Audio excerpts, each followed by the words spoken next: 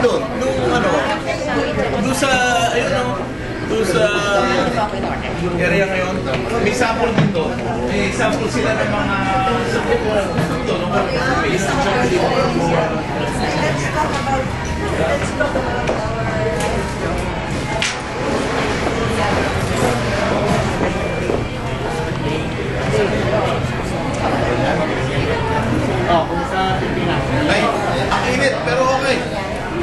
now.